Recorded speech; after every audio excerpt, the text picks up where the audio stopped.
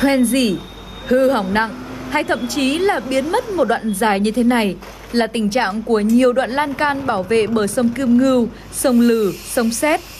Hơn 30 năm sống ở khu vực này, bà Đức không khỏi lo lắng khi chứng kiến tình trạng này diễn ra đã lâu.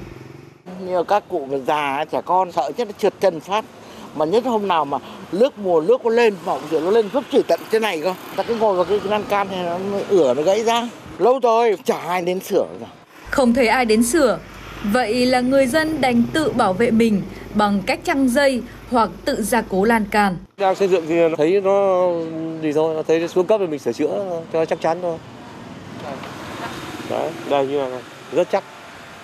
Lâu ngày nó bị ờ, mục bọt thì nó rơi. Còn ăn trộm thì không biết là ai ăn trộm nhưng mà cũng lâu lắm rồi. Dân người ta sợ là cái xe cái pháo rơi xuống người ta tự buộc mà. Bản thân những người ta đi đây người ta cũng sợ nguy hiểm lắm các bạn.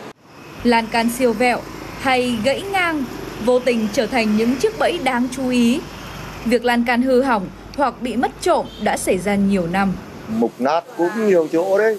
Cái đợt à, đoạn dưới là người ta cũng đã tay rồi. Còn cái đoạn này là người ta có cái biện pháp là cảnh báo như thế thôi. Còn để mà khi nào làm thì mình chưa biết được.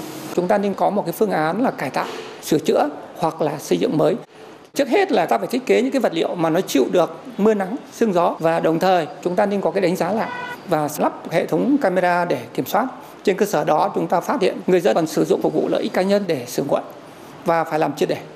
Hiện cơ quan chức năng đang phối hợp sửa chữa lại các đoạn lan can bị hư hỏng.